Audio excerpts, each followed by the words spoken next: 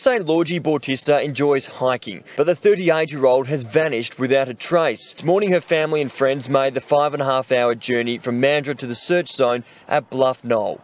They make no mention of any accommodation, so presumably she's driven the five hours from her family to, if we look here, to start her walk at um at 4 a.m.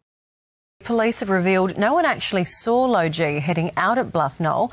Well, of course, that's an unusually early start for a bushwalker to still be dark. I don't know how she can see where she's going.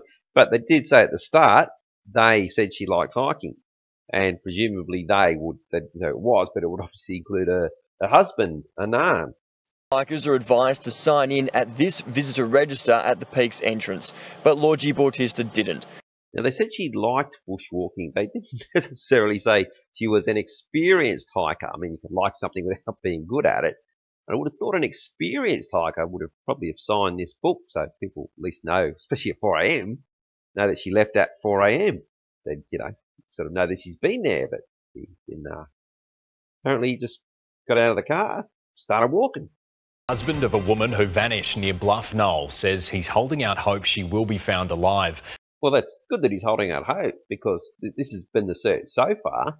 A total of 50 police and SES volunteers scoured Bluff Knoll. A drone and thermal imaging equipment was also deployed, but still no sign of Lorgie Bautista. Well, that's how long these two were, were missing for. Uh, yeah, even though they're only going for a, a day trip, they had four days worth of food with them and they were very experienced, hence they looked entirely unscathed.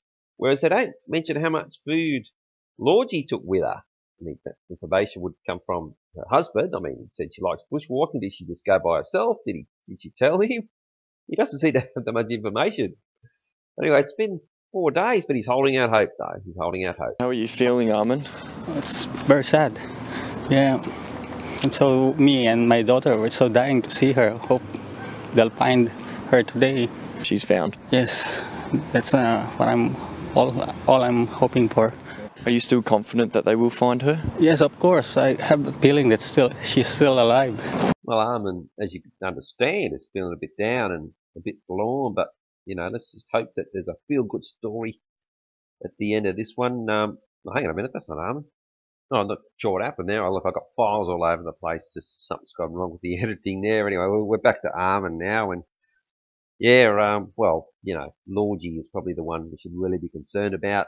I mean, you know, Armin's upset, but Lorgie's the one that's, uh, you know, it's not a good feel good story, you know, she's the one that's, um, I can't help myself. God, he's a fucking prick.